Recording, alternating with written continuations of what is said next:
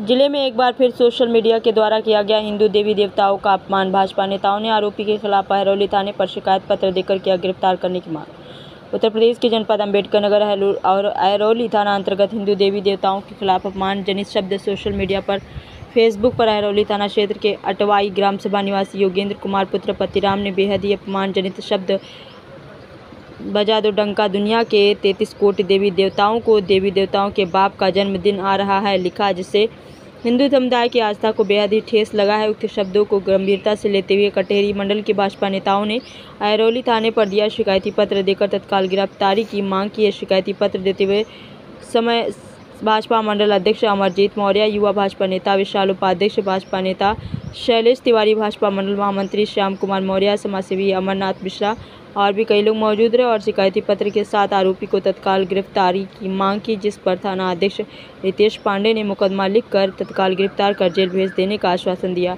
जनपद अंबेडकर नगर से राम तिलक विश्वकर्मा की खास रिपोर्ट।